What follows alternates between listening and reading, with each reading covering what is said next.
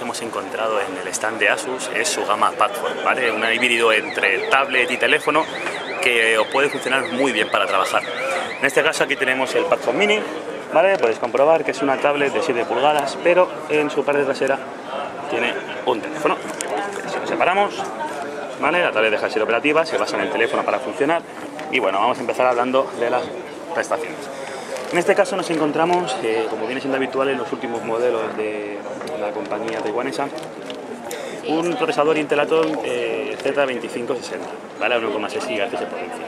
No es un 4 núcleos, pero sea doble núcleo hay que tener en cuenta que Intel sabe jugar en el mercado.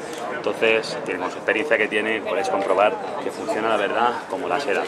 La pantalla es un poquito limitada, la verdad, es una pantalla de 4 pulgadas con resolución 800 x 480, pero bueno, tiene un panel IPS y una protección Corning Gorilla Glass para evitar que pueda sufrir esos daños típicos de poner las llaves y demás. Además de una cámara de 8 megapíxeles con flash que hace una foto relativamente digna, solo que esto lo vamos a probar una vez la hayamos conectado a la tablet.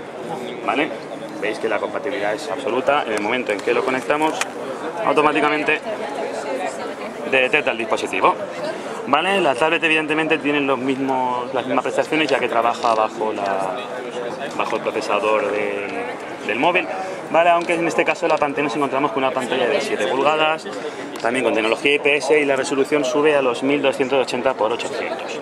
¿Vale? Podéis comprobar que funciona de la misma forma, no hay ningún tipo de parón, bastante cómoda, eh, sigo utilizando la interfaz de Asus, de UI, la verdad es muy sencilla, intuitiva.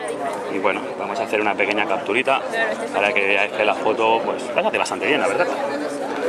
Sigo utilizando también estabilizador HDR, vamos a hacer una captura, está buscando caras, lo único que hay tanta gente que se me va a volver un poco loca, pero bueno, vamos a ver si así digamos el HDR ya salga mejor.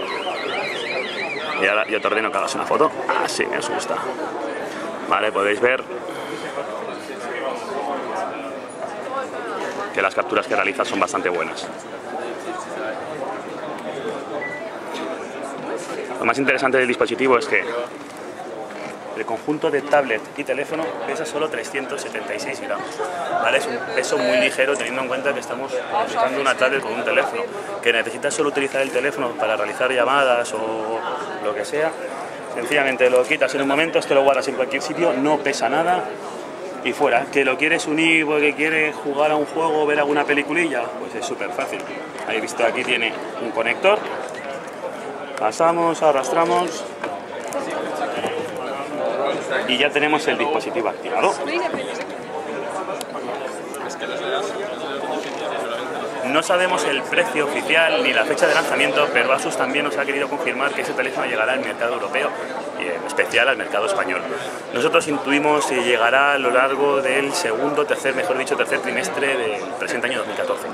Entonces, bueno, esperemos, los colores disponibles van a estar en blanco, negro, eh, azul y rojo y bueno, esperar cómo, cómo funciona ese tablet en nuestro mercado.